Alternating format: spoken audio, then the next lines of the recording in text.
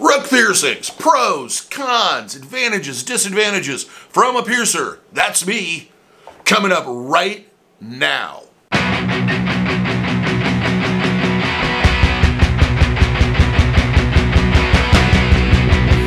For those that are new to the channel, my name is DaVo. I'm a professional piercer and have been since 1994.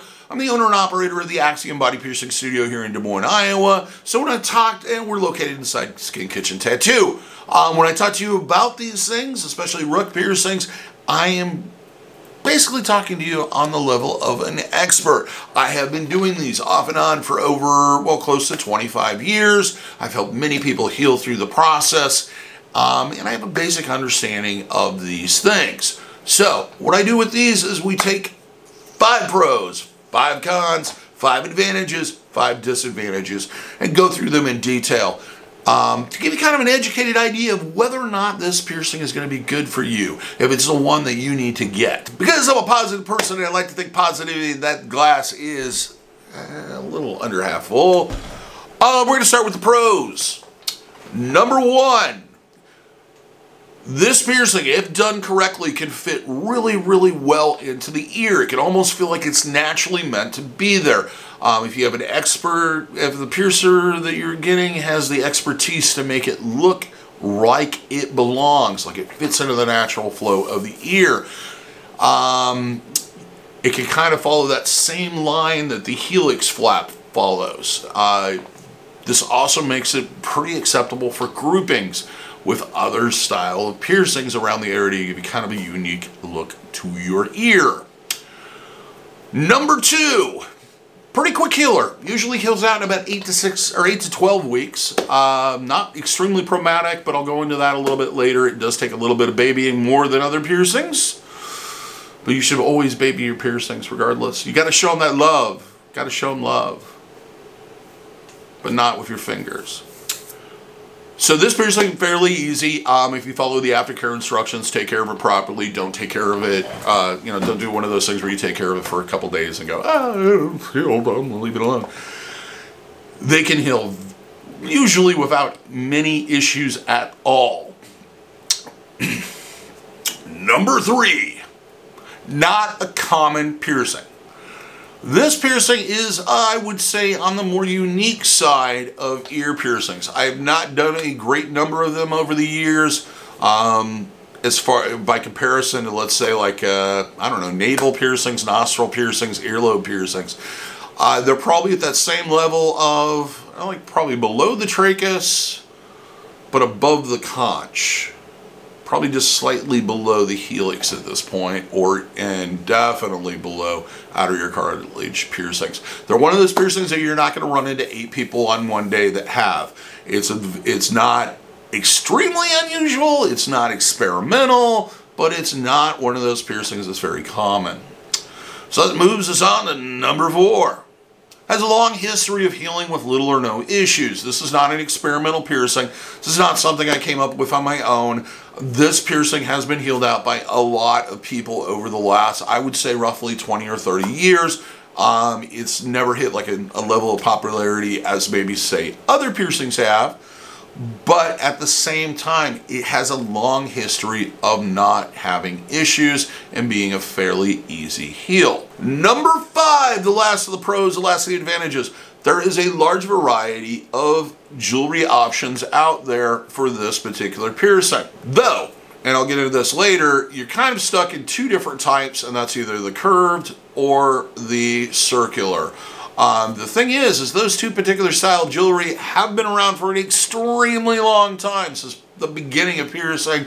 So there's a lot of different style, shapes, and etc. that you can work with and get put in there after the piercing heals. Okay, now that we've gone through the disadvantages, the advantages, the pros, the positive, it's time to go on to the dark side and talk about the disadvantages. Number one, you need to isolate this piercing. Uh, any ear piercing, I don't care where it's at on your ear, including lobes, need to be kept away from anything that is going to be abusive, constrictive, block the flow of oxygen, or contaminate the area. Now, even though your piercing may be located here, any type of contamination in the general area could lead to an infection. Meaning, sunglasses could cause an infection if you don't clean them on a regular basis. Earbuds, headphones, telephones, of course, anything that comes in contact with it.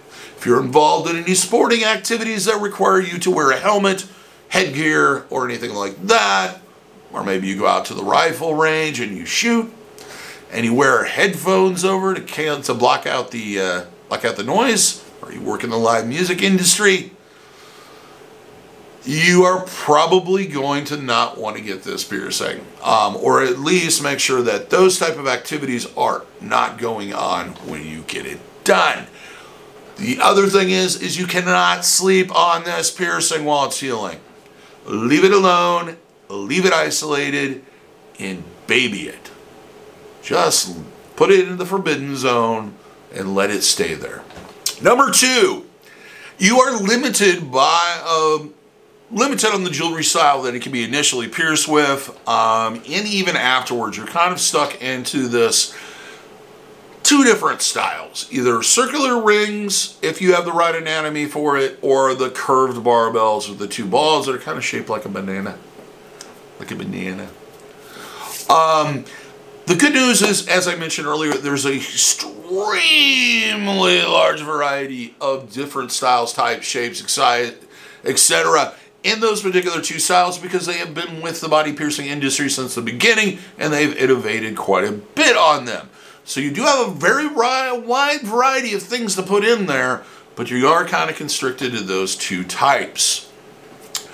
That said, I have had one client where because of the shape of her ear and the way that ridge came down, it almost came down like that, where we could wear, she could wear a labret stud in. She is the unique one. That's not always the case. A lot of times, any straight jewelry, even in a healed piercing, can cause issues when you switch from curved to straight because it puts so much pressure on the piercing and it's also going to look kind of weird because the, you know, if it's gemmed or anything. Anyway. Um, number three, you cannot remove this jewelry during the healing process and are, I wouldn't suggest removing it for any extended period of time um, even after it heals. Uh, so if you're involved in any type of sporting activity, uh, high school type things, college, etc., in which you are going to be required to remove this jewelry, wait until you get done doing that stuff. Because taking it out, putting it back in, taking it out, putting it back in, taking it out, putting it back in, causes a couple different problems. The first one being that how you can't really control how clean that jewelry is or the package that you keep it in. So there's always a possibility of infection. The second one being it could close up and you can't get the jewelry back in. And that one probably sucks the most. That, I guess infection would kind of suck too. But the third thing is that you can damage the piercing by constantly taking jewelry in and out. That tunnel of tissue that forms around the jewelry, which is the piercing itself, can sometimes be a bit fragile, especially in that first couple of years. So constantly moving and taking jewelry out, putting it back, taking it out, putting it back, taking it back, putting it back, it can cause damage to the piercing itself, which could restart the healing the healing process, and you may not be aware of it, which could lead to an infection or other problem, including scarring, etc. So, if you're involved in an activity where they're going to require you to take this out for safety reasons or other nonsensical, who knows what the heck they're talking about, situations, wait till after you're done with those type of activities until, uh, and then get it pierced. It's just better. Number four, anatomy. Not everyone has the anatomy to do this piercing. I would say roughly about 10% of the general public at least that's been my experience with people coming in asking and requesting this piercing, don't have a pronounced enough ridge or the ridge is covered so much by the helix flap or it's not wide enough to do safely without having to worry about the piercing rejecting or migrating or having other issues. So it is very anatomy specific. Also, the size of the jewelry is dictated by that. The placement of the jewelry and the piercing is also placed by that. and the style of jewelry that's going to work best in it. When somebody comes in and they ask for this particular piercing, I will generally go through a process of looking at the area, feeling around a little bit, getting acquainted with it, and then deciding what is going to work best while they initially heal out the piercing, which is usually curved barbell or ring. Very anatomy specific.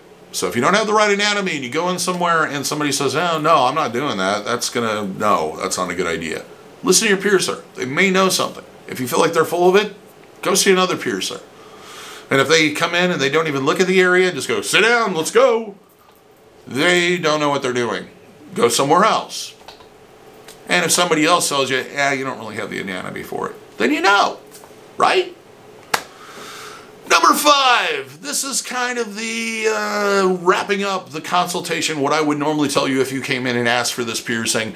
Um, kind of to give you an overview of what it's going to take to take care of this piercing and heal it out correctly.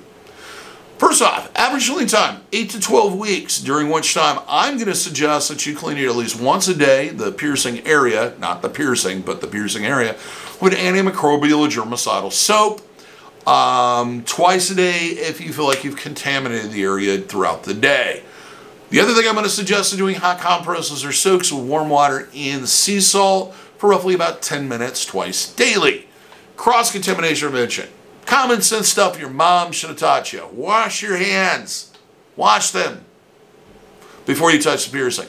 Don't overhandle the jewelry. The only time you really have any contact with the piercing is when you're cleaning the area and when you're doing soaks. The rest of the time, leave it alone. I know it's new and it's fun and exciting, but stop playing with it. Next thing, uh, no oral contact or exchanging of bodily fluids on or around the piercing until it heals. Self-explanatory. Keep your number, uh, keep your environment clean. Clothing, bedding, towels, anything that may come in contact with the piercing.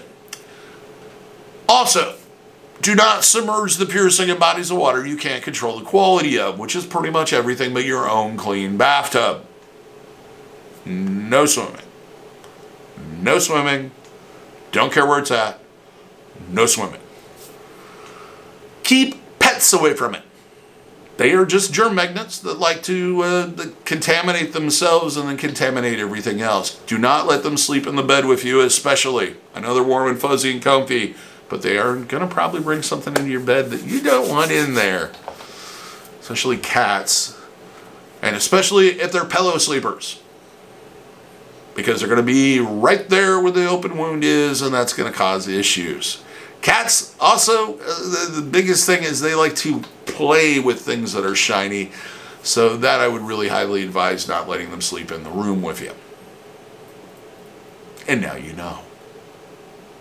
The other thing is, is avoid contact with unclean objects. Uh, number one culprit of that, of course, is telephones. Uh, you also want to avoid contact with uh, sunglasses. Uh, make sure they're cleaned on a regular basis. If you wear you wear cheaters like I do, clean those bows on a regular basis. Disinfect them just to be on the safe side. Um, also, uh, avoid contact with earbuds, uh, headphones, helmets, anything that may come in contact with the piercing needs to be disinfected or avoided during the healing process. If it's wintertime, stocking caps are a big trapper of everything not good. They should be cleaned on a regular basis. Um, already covered sleeping and a lot of this other stuff, so I'm going to kind of skip over that part. There you go! Five advantages, five disadvantages, five pros, five cons of rook piercings. So I hope this video was educational to you and gave you a good overview and education of whether or not this piercing, this particular one, is going to be the right one for you. Um, if you learned something, please give me a thumbs up because that means you enjoyed it and you learned something. If you have questions or you feel like I brazed over something and didn't really explain it fully and it's just probably a whole worm of new ideas in your mind and you have to get them out, express them by making a comment. I usually answer uh, most comments uh, on a regular basis and continue to do so until I can't do it anymore. Um, subscribe. If you're one of those people that likes body piercing, tattooing, in body art in general, or body modifications, whatever they want to call it this week, We do educational videos on piercing, tattooing, and general body art on a regular basis, uh, posting anywhere from three to four videos a week. So go ahead and subscribe. If you would like to be notified when we do post new things, hit the notification bell. And until next time, if you're in the Des Moines, Iowa area, I hope to see you for your piercing needs in the future.